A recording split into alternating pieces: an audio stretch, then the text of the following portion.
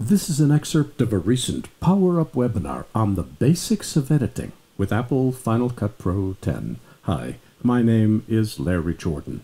In this excerpt, I'll show you a hidden feature in Final Cut that can improve media handling. Now that we've got a sense of where stuff is, I want to talk about configuration. First thing I want to configure is to select the library, go to the inspector, and notice that the inspector gives me settings that I can change for that particular library. Here's a cool tip. See where it says library properties? That name changes depending upon what you have selected. Double click it and the library goes full height. Double click it again and the library shrinks back down. Right up here at the top, see this storage locations.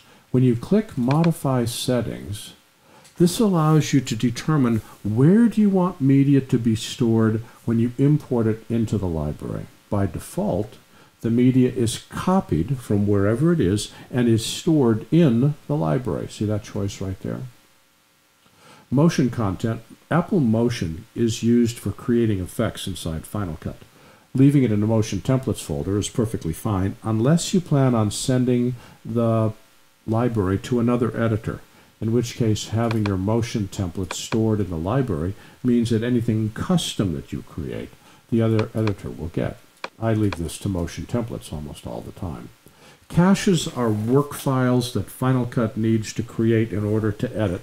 99% of the time, just leave this in the library and don't worry about it. But backups need to be stored somewhere differently than your libraries.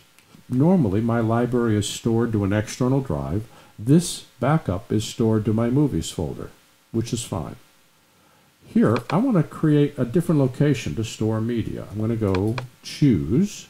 I'm going to go to a server.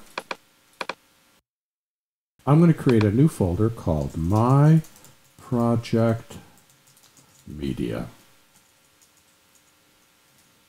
Now you can name this anything and you can store it anywhere as long as it's fast and big. This has this is where your media goes. It's got to be your biggest drive. It's got to be your fastest drive. I'm going to create that and click choose. Notice that now it says my media is going to be stored inside the My Project Media folder. Could be in the library, which is fine. It's safe, not going to get erased. Could be left and linked outside Final Cut, also fine. But I want to show you how this one works, and we change it by clicking Modify Settings. This has been an excerpt of a recent Power Up webinar on the basics of editing with Apple Final Cut Pro 10. For the complete version of this online training, please visit our store at larryjordan.com slash store and look for Webinar 285.